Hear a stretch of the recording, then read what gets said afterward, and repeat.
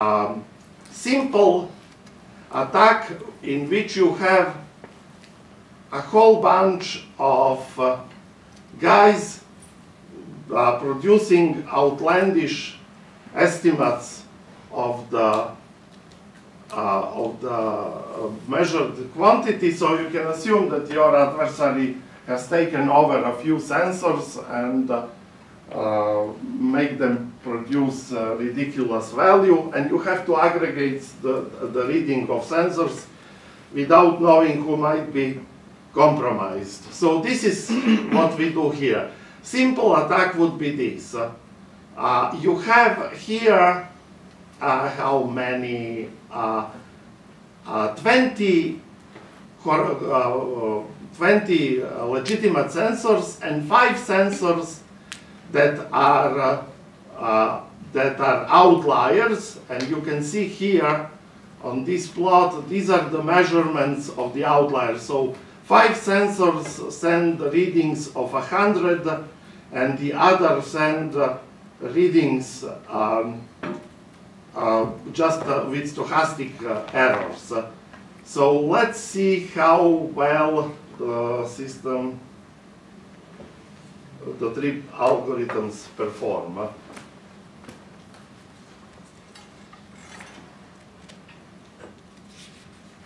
Okay, sometimes Mathematica even reluctant to start.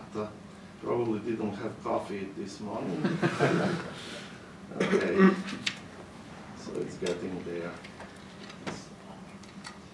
Yeah, MATLAB would zip in uh, in uh, a few milliseconds, but uh, uh there is a way uh, to force Mathematica to speed up to avoid uh, symbolic by putting n everywhere, but then the code becomes unreadable. So let's see how the system performed. So maximum likelihood now is not calculated from all sensors, but we isolate only the uh, honest to God sensors, uh, right? So to get this error ML, you have to both know which sensors are broken or under attack and what and for all other sensors what their variances are. On the other hand, the, none of these three uh, algorithms knows uh, what the, uh, the which sensors are broken. And you can see that uh, all three of them, uh, the reciprocal uh, and UNSW1 and to a lesser degree affine produced reasonable, well actually the uh, the, the Kerchove and the Affine did a pretty bad job because it's uh, uh, it essentially took the mean, so all of them correctly isolated the outliers by simply during without any decision, without any thresholding, right? They simply assign negligible weight for to all outliers, right? And uh, uh, the affine one uh, took simply the mean of the rest, but uh, the reciprocal and the UNSW1 uh, remained extremely, extremely close, so they were essentially unperturbed by the attacking sensors that made these uh, uh, huge uh, errors, right? And are still extremely close to the theoretical optimum. But one can say that's not the worst what can happen, right? Uh, so let me show you an attack that was designed by a student of mine, Mohsen Rezvani. Um, uh, that uh, came up with an ingenious idea how to mess up the Yes? I think you can just, uh, this is the uh, true value, and then you can um, want the value that you want to skew, and uh, just vote randomly in between these. And these values will be appear to be legitimate votes. So the, the idea is, uh, uh, that's right, the, the, strategy of attack is if you have five attackers, four of them will produce outlandish values, and the fifth one will produce a mean of uh, number of uh, uh, remaining sensors times the the uh, estimate of the true value, right? Uh, and the four attackers. So four of them skew the system, and the fifth one votes for the mean of the true plus the skewed ones, and he appears to be the closest to the truth, right? And so let's see how how the system performs uh, in this uh, case. Uh.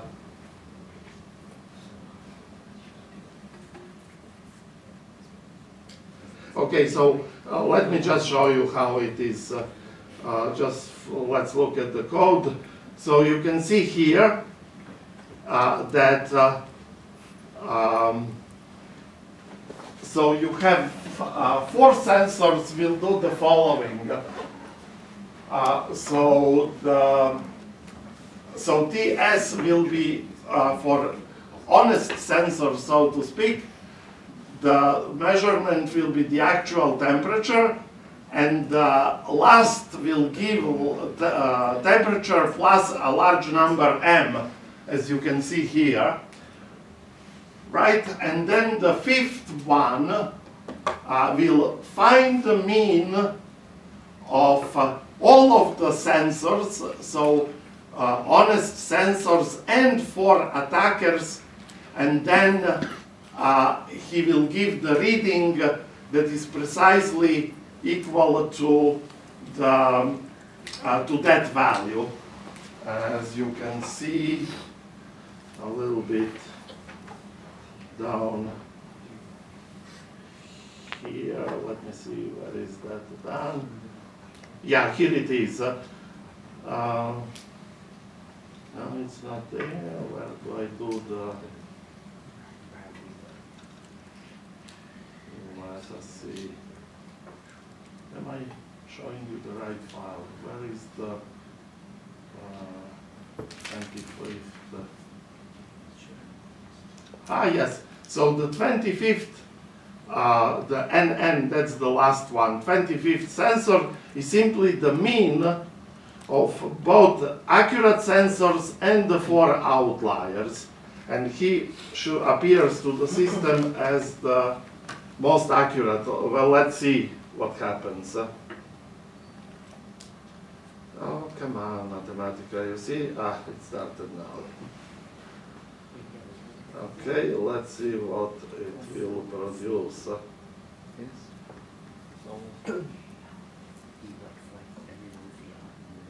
Okay. Okay, here are the results. Now look what happens. The one that was the best got completely messed up because he actually kind of thought of this fifth attacker as the most accurate one. Uh, and uh, we are about, and we got completely, almost completely unaffected by, uh, okay, so uh, then, as I mentioned, Ishrak produced a variant of this attack that apparently uh, deceives also our system, but I never got a, uh, time to look around what exactly he did, also because I want some of you to do that. So uh, look, I'll send you, uh, uh, it could be very nice project uh, to understand his attack and then see if you can fix the aggregation to become resilient also for that attack. And if you do that, uh, this can be a publishable paper, and you can uh, earn uh, eternal glory and uh, recognition. And the university might keep you employed. okay, so you can see here that uh, the reciprocal gave a full, uh, full uh, credit to the fifth attacker. And, uh, uh, but uh, notice it's really amazing. Our system hugged the theoretical optimum almost perfectly. So, so that so the system is also robust against against sophisticated uh, attacks. Uh, so as I say, a good aggregation has to perform well in the presence of stochastic errors, but should also perform well uh, when you have collusion attack, right? And uh, lo and behold, uh, that's uh, what I wanted to tell you about iterative filtering algorithms.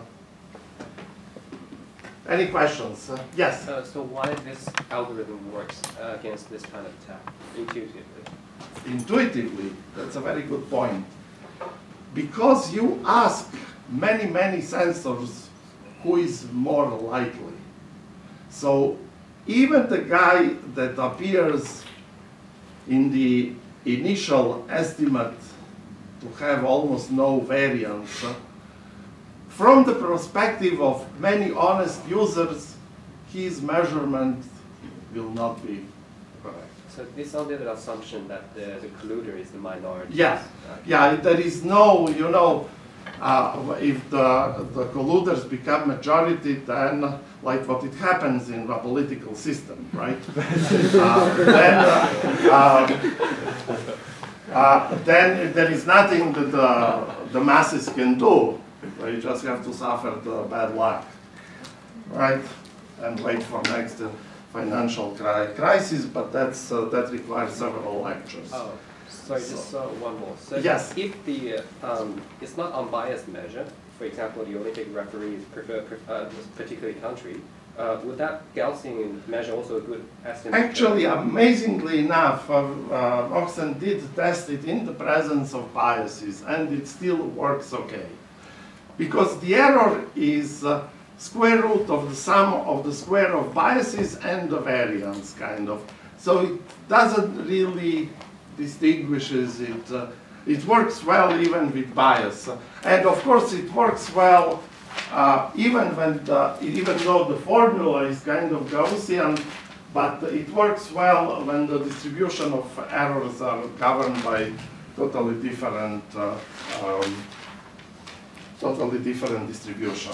Yeah.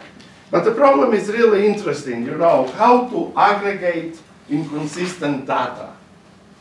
What can this be? It can be market analysts, uh, it can be uh, consumer feedback, uh, right?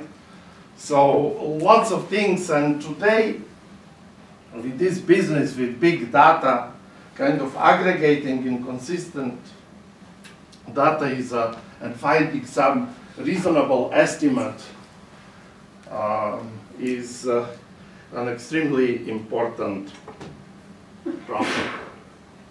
Yes. So with this code, did you come up with a bunch of variances and then see how closely they? Yes, in fact, uh, uh, we had probably, shall we say, at least 10, 15 different uh, versions of it. And if you look at the code, it actually gives two versions here. And uh, um, uh, it's, uh, you know, so that's actually a very good point. But when you try to design such algorithm, what guides you? You want to avoid singularities first, right? And then you want uh, kind of to delocalize information, right? So that, that because it makes it much uh, less likely that collusion can work, right?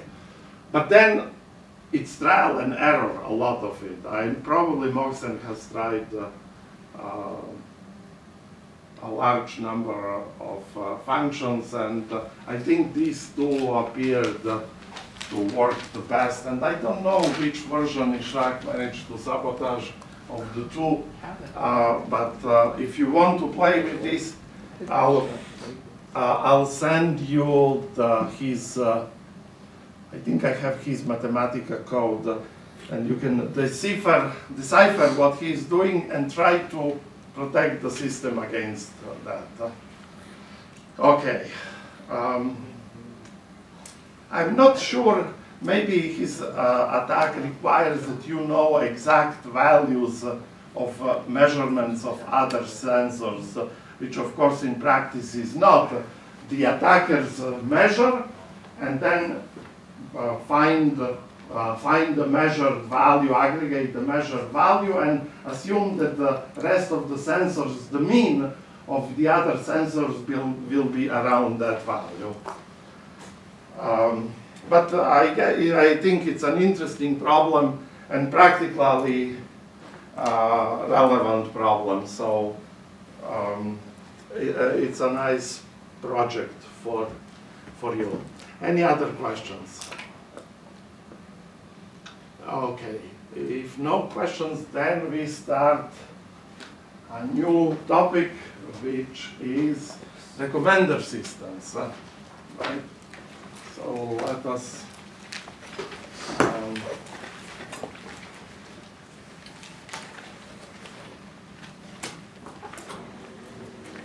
let us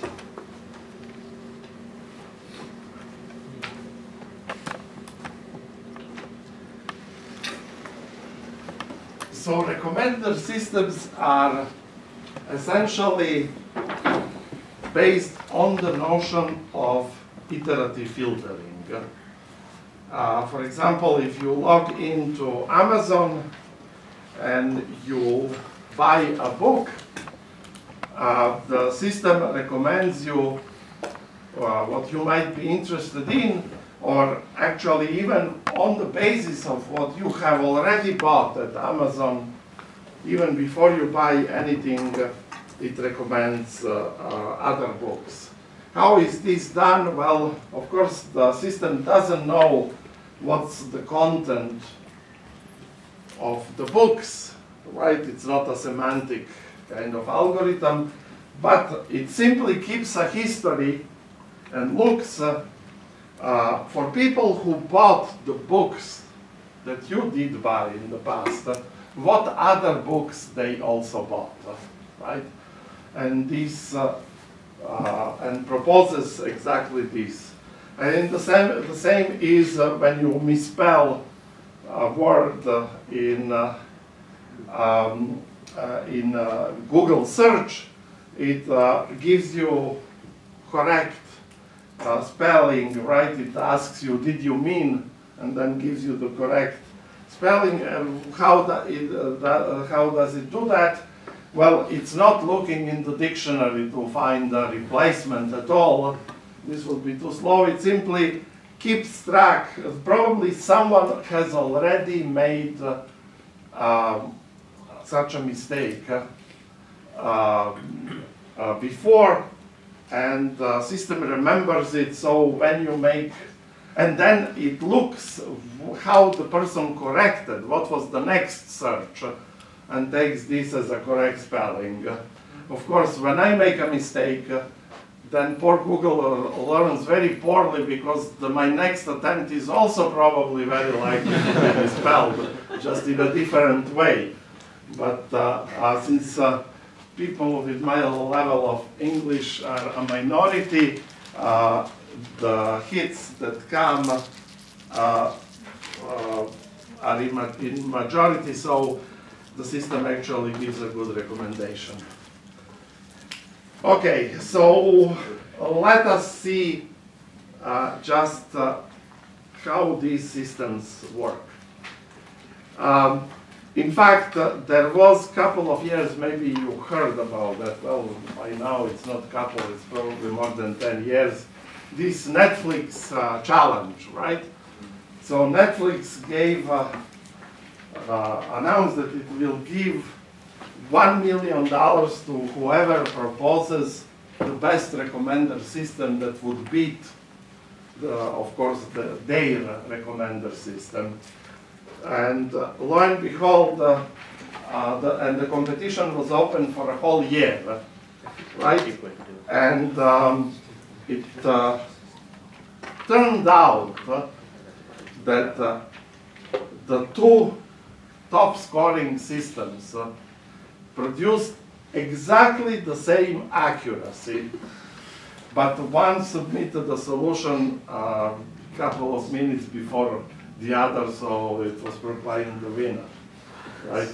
Now, what is amazing about that is the two different systems produced exactly the same error rate, which would kind of indicate uh, that you reach probably some form of information theoretic optimum of um, uh, of uh, of prediction. Now, the, the uh, so sadly enough, uh, Netflix never implemented any of the great solutions because why did it? Uh, oh, maybe nowadays it's neural networks. They're so irritating. Uh, you know, it's so irritating when something works much better than the rest, uh, and you have no clue why it works well. It's absolutely, you know, when people did the hidden Markov models for speech recognition, of course we understand why hidden Markov models work. You know, it's a little bit of probability.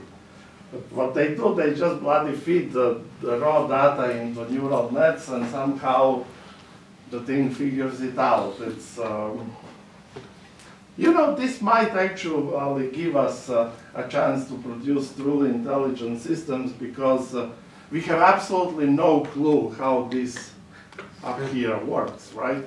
And neural nets only simulate uh, the, the geometric topology of the system, just nodes with connections. Well, but we don't know, first of all, if uh, there is processing inside of neurons too, actually. And in fact, famous people like Penrose claim that uh, the essence of human reasoning is uh, through quantum mechanical processes, uh, right? Which is kind of reasonable because many processes in nature, for example, photosynthesis is uh, a kind of quantum mechanical, explainable only on quantum mechanical uh, level. So maybe something like that happens uh, in our heads as well. Anyhow, so um, by stumbling in darkness, you produce a system that works better than anything else, and uh, I find this highly irritating. Anyhow, so um, the recommender systems uh, that scored the best were never implemented. Guess why? That was way before neural nets. Why wouldn't you implement something that beats your system? It's slow. It's uh, uh, and you couldn't tell among the top solution solutions which one was uglier. they were all uh, basing recommendations uh, by weighted mean of uh, hundreds of individual algorithms, right? And the, weights, the weights were just obtained by training and tweaking, right? Um, until they got uh, the best possible results. Now, how do you measure the performance of a recommender system? Well, you simply take an existing table of uh, uh, evaluations by users. Uh, right? So, um,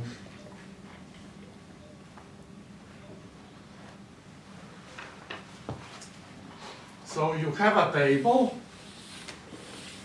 say here are uh, users and here are movies.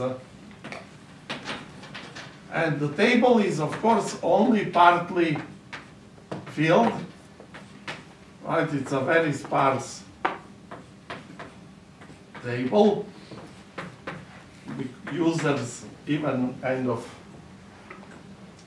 uh, users that like to watch movies, maybe they have a few hundred of, uh, entries across uh, probably hundreds of thousands of movies. And I hear there were a few loonies who had several thousands of uh, recommendations. Uh, okay, so the point is now this, the recommender system, simply when you test it, uh, it uh, blocks out, it removes essentially the certain portion of the data.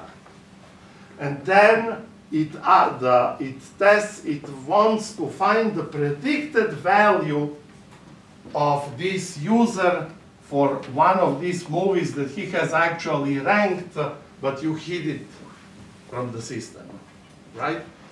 And the RMS root mean square, just square root of Euclidean distance, is the measurement of the accuracy, right? So you understand how this works. And all of these systems, so Netflix provided a gigantic table uh, that was the training data. Uh, then pro, uh, pro provided another table on which you test your system, and then a third table that was not revealed, of course, in which the system were actually tested for, for final, on which systems were competing, right? So if you have a gigantic table, you can yourself uh, block out different subsets uh, and uh, train your system by trying to minimize the errors in, in blocked cells. Now, as I mentioned, the winning systems were kind of concoction of a huge number of variances of various algorithms, but interestingly enough, there were only two fundamental ingredients. And uh, one of them is kind of very easy to understand why it works, but the other one had a little bit, but tiny, tiny little bit flavor of this uh, miracle of neural nets because it produced uh, kind of data in a way that did not provide an explanation, but it still worked well. Uh, something called the latent variable method. So what is uh, the uh, uh what is the what are the two principles behind these two methods? Uh, idea is this. Uh, take any two users, U1 and U2, and then restrict the domain of movies only to the movies that both U1 and U2 have uh, evaluated. This can then be used to tell how similar these two users are. If they tend to agree on this intersection part, how the, what, what scores they gave to movies, they would be similar, right? Uh, similarly, you can also take two movies, M1 and M2, and then look only at the users that have evaluated both M1 and M2, and you can then see whether they got similar evaluations or different evaluations. If the evaluations of all users tended to be close, right, these movies would be similar, and if the evaluations were different, this movie would be deemed to be different. So now you can do two things. You can, for example, you have now a user, and you want to recommend for him a movie that he hasn't seen. You can, during pre-processing, you can uh, find uh, users that are similar to that user, right? And then look at the movies that the first use that uh, um, uh, you, uh, the person whom you want to recommend movie hasn't seen, right? but that were highly like ranked by uh, users that are similar to him. Right? So you look for similar users and movies that they liked uh, to recommend to this. And uh, so this is why it's called collaborative filtering, right? Because uh, you deduce the recommendation on the basis of interdependencies of evaluations of, uh, of users, right? Another approach would be to look for the movies that this user has seen and has highly ranked, and then look for similar movies to the ones that he has seen and recommend these. And this is essentially uh, the content except, right? Uh, the similarity has to be defined in a correct way in the sense that it's informative, right? So uh, we will see next time how this is done through least squares and uh, cosine similarity measurement. So that's one approach, uh, namely to look at similarity between movies and similarity between users. But there is the second approach, which is called positive matrix decomposition. And uh, what time am I, I'm sorry, what time am I supposed to finish? Five minutes before the half hour, right? Okay, so we, I'll tell you, you have to live in a suspense. I'll tell you next time what the principle behind the second method is.